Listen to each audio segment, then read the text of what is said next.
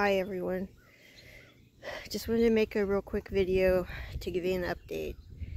I know you all are expecting a diary video to come out probably tomorrow and I wanted to let you know that I'm going to be taking a break. I don't know if the break will be temporary or permanent at this point so um, if it's permanent I want to thank you all for your support and your love over the last couple years. If it's temporary, then I will see you in the future. So, take care everyone. Love you.